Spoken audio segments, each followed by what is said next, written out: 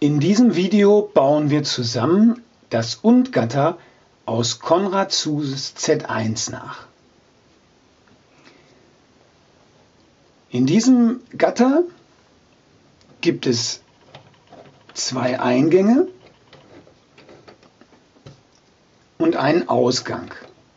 Die Eingänge wirken nicht direkt auf den Ausgang, sondern erst ein Takt sorgt dafür, dass der Ausgang in Abhängigkeit der beiden Eingänge geschaltet wird.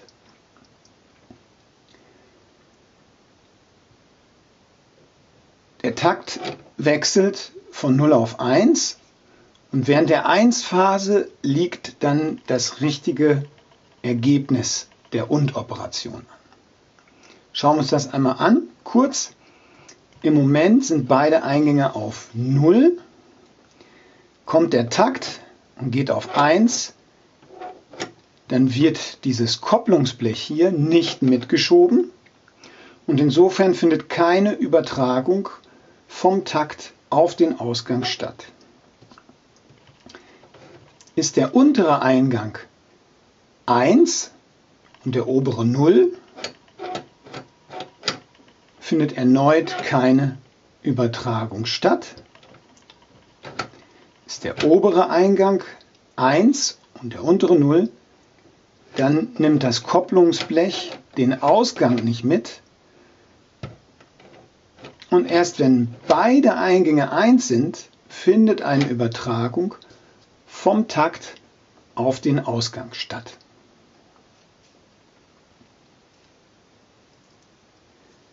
Und wir haben die Unverknüpfung.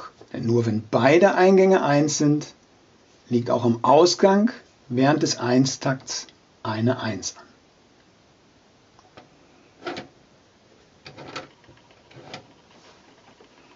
Ja, der Nachbau ist relativ einfach. Zunächst einmal setzt man einen Baustein 15 mit einem Zapfen hier an die Position ähm, N, JK L7, L7, schiebt den richtig tief rein und dann zwei Bausteine 30 auf die Position L9 und L5, aber die nicht ganz reinschieben, denn diese Eingangsbleche, die müssen gut gleiten. Man darf sie nicht so festklemmen, dass man hier kaum noch schieben kann. Also ein bisschen Spiel lassen.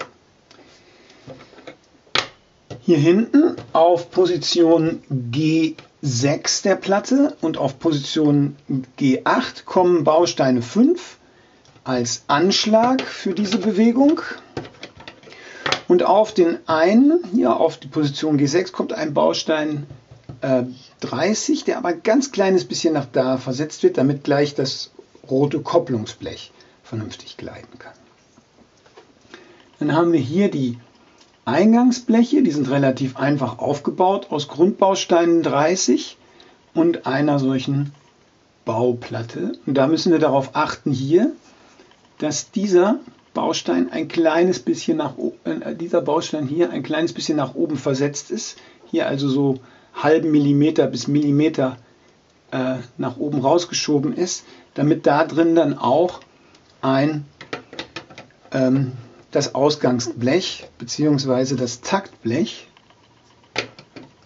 gleiten kann. Ja, dann haben wir das sogenannte Kopplungsblech hier. Da habe ich zwei Bausteine 15 mit einem Verbindungsstück verbunden und dann so einen kompletten Rahmen drumherum gebaut, der ein ganz klein bisschen auseinandergezogen ist. Wieder, damit hier und da Bausteine eingreifen können, ohne dass es klemmt. Der wird jetzt einfach hier so lose raufgelegt. Dann haben wir einmal dieses Ausgangsblech, sagen wir mal, ein Baustein 30, ein Baustein 15. Diesen Baustein 30 ein ganz klein bisschen höher machen da, man sieht das hier vielleicht halben Millimeter, Millimeter über, damit er über diesem roten Kopplungsblech schwebt und nicht von ihm mitgenommen, unfreiwillig mitgenommen wird. Und dann kann der schon eingehakt werden. Genauso aufgebaut ist das Taktblech hier ein bisschen höher, dass der gelbe darüber steht. Ja, und schon ist das Gatter fertig. Man kann auch hier die Markierung für die Nullen und Einsen anbringen und dann nachvollziehen, wie Konrad Zuse sich das gedacht hat mit seinen Gattern. Problematisch daran sind diese ganzen 90 Grad ähm, Drehungen, die man braucht, um dann von hier vom Ausgang wieder auf die nächsten Eingänge zu kommen und so. Das macht die ganze ähm, Verschaltung der einzelnen Gatter recht kompliziert. Aber um einen Einblick zu kriegen, wie die Maschine funktioniert hat, ist das Gatter hier schon ganz gut geeignet.